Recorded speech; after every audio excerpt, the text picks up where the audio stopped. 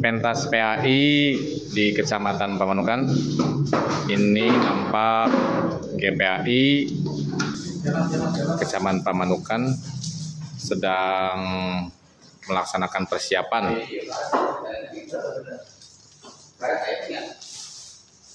Tidak jauh dari kopi. Oh ya, tidak jauh dari kopi.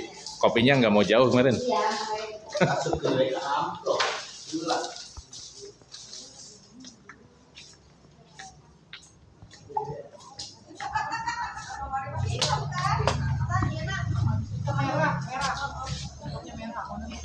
Nih, sementara sambil mempersiapkan ada juga yang memajak guys. Pinter, pinter. Pinteran ya. Pinteran yakin. Orang kan kalau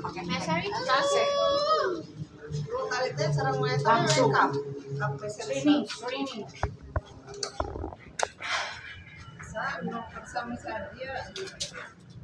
Panitim. Panitia. Kira. Oh, pirang 20 teh. Gimana sih Belina? Di Pipaninya? Ih, toko buka anak, mau Bukan dikirim datang we gawe keun. Kalau rasanya selimping eta. Jadi nukarak datang. yang bertugas di wilayah Kecamatan Pamanukan, Pangarsa Bu Masriah yang saya hormati, dan seluruh pejabat yang hadir, termasuk juga Pangarsa Bapak Korwil yang bertugas di wilayah Kecamatan Pamanukan yang sangat saya hormati, para pejabat yang lain yang tidak sempat saya sebutkan semuanya yang saya hormati. Alhamdulillah senang sekali yang pasti hari ini Kecamatan Pamanukan yang saya hormati Bapak Ibu Panitia eh, penyelenggara Dewan Hakim pentas PAI tingkat Kecamatan Pamanukan yang saya hormati. Eh, pertama saya mengucapkan permohonan maaf karena memang pada hari ini ada beberapa agenda yang harus saya hadiri. Di antaranya kegiatan yang sama pentas PAI ini Kecamatan Cisalak, Subang, Pamanukan dan sekaligus kegiatan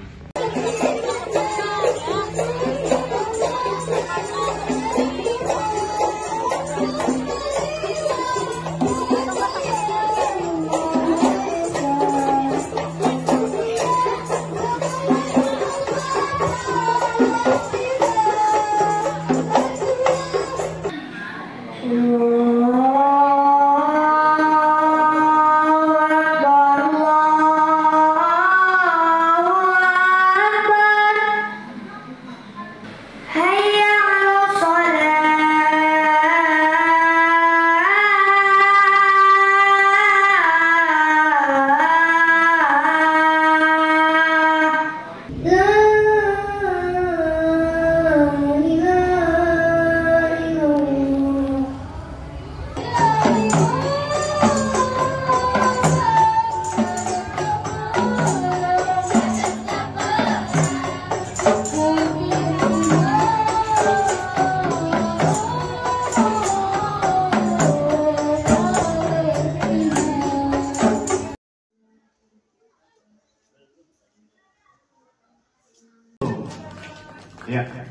Jadi nanti kalau mau diajarkan sholat yang cepat sama SD Tuan Cahaya.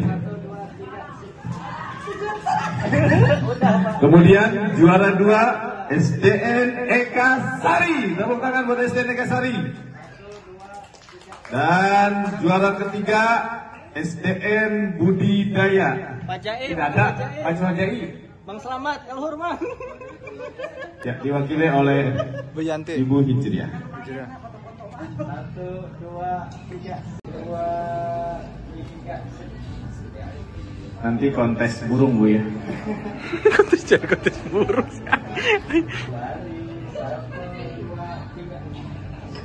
Ya, terima kasih kepada Sekretaris KKGPI Kecamatan tiga. Ya, selanjutnya SDN Pamanukan seberang satu. Baik. Kenai, kenai, iya. Satu, dua, tiga. Dan juara tiga Ibu bisa dan Bu. Oh, bisa. Satu, lihat. Satu, dua, tiga. Satu, dua, tiga. Lanjut. Juara dua. Juara dua.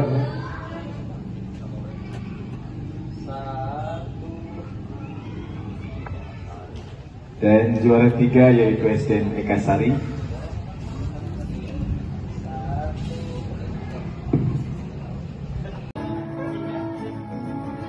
Kemudian juara kedua SDN Karya Utama.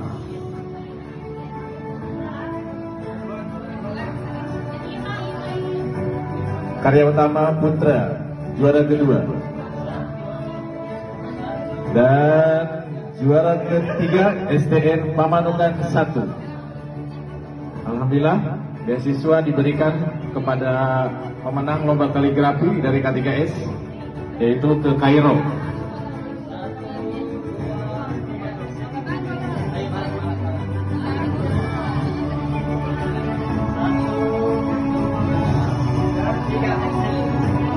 Terciduk Duda sedang nelpon sasarannya. Jadi bagi para ladies jangan sampai eh, terpana oleh rayuan seorang duda. Hati-hati sekali lagi untuk para ladies ya. Ini cara duda merayu. Cara duda melayu korban atau mangsanya.